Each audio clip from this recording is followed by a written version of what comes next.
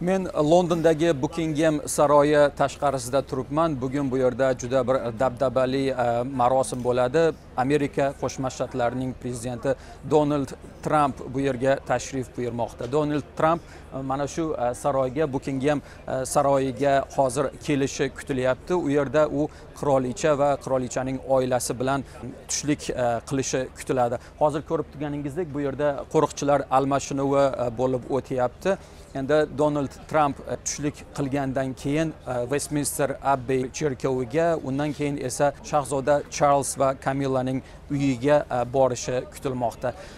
Hammaga ma'lumki prezident donald tramp o'ta mubohasali shaxs. U misli ko'rilmagan tarzda o'zining chiqishlari bilan hammaga tanish nafaqat amerikaning ichida balki butun dunyoda ko'plab noroziliklarga sabab bo'lgan uning chiqishlari.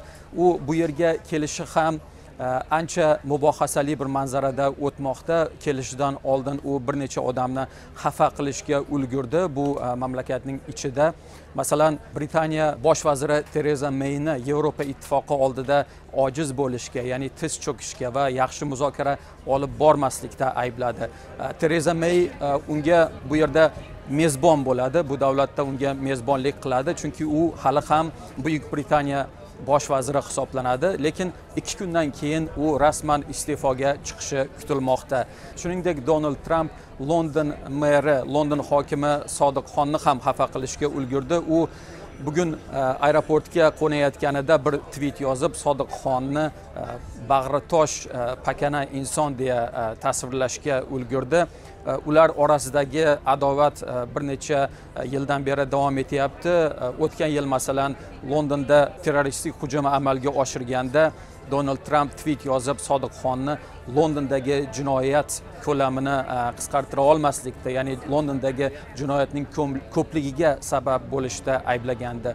Bunga javoban esa e, sodiqxon biz trampni londonda xush qarshi olmaymiz. U bizning e, britan qadriyatlarimizga o'ta zid shaxs ya'ni bizdagi E, irqchilikka qarshi e, hamda ayollarga bo'lgan zug'umga qarshi e, qadriyatlarga u mos kelmaydi degan bir chiqishlarni ham qilgan.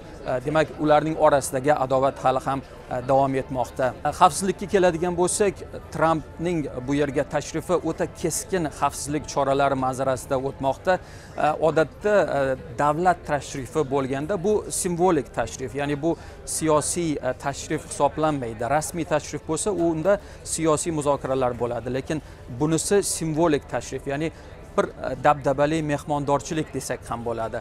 Davlat tashrifi bilan kelgan e, davlat rahbarlari odatda mana bu yerdan e, oltin tilla faytonda o'tishadi. Ularni juda ham bir chiroyli juda ham bir muhtasham an'analar bilan kutib olishadi. Lekin donald trampga bunday tilla faytun taqdim etilmayapti. Ba'zi xabarlarda aytilishicha u bundan sal xafa bo'lgan. Lekin aslida bu qaror uning e, o'zining oq uyi tomonidan olingan xavfsizligini o'ylab trampning xavfsizlik choralarini ta'minlagan guruhning aytishicha uning atrofida e, po'lat halqa ya'ni teshib bo'lmas po'lat halqa yaratiladi. U ham bo'lsa bir necha mashinalar e, vertolyotlar e, uning xavfsizligini ta'minlash uchun uning atrofida bo'ladi.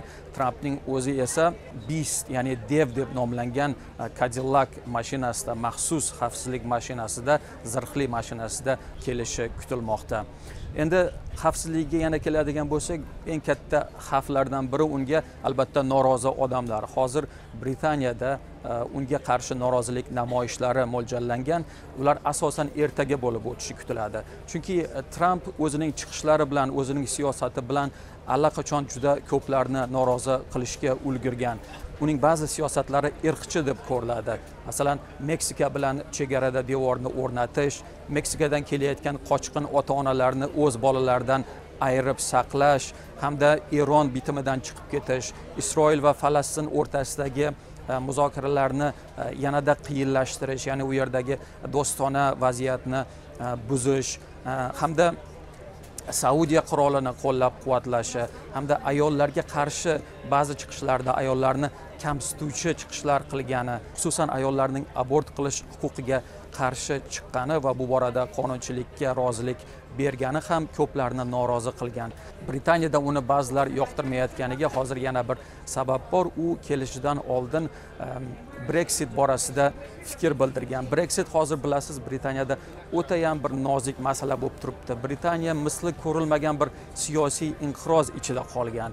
Uch yil avval britaniya yevropa ittifoqidan chiqishi borasida ovoz berilganiga qaramay mana uch yil o'tib ham hali ham brexit amalga oshmadi va buning ortidan britaniya bosh vaziri tereza may hatto iste'fo berdi.